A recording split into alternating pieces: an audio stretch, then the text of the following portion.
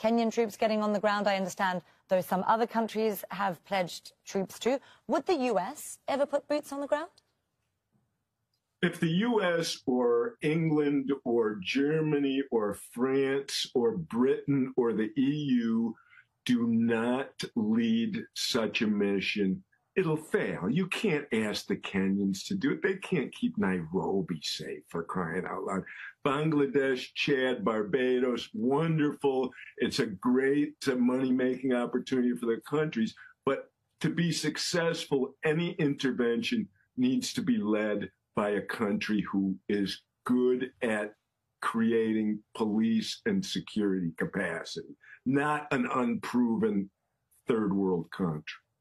Well, clearly, it's an incredibly critical point at the moment for Haiti. Thank you so much, Ambassador Daniel Foote, a former special envoy, special U.S. envoy for Haiti, joining us here on Al Jazeera. Thank you for your time, sir. Thanks for having me.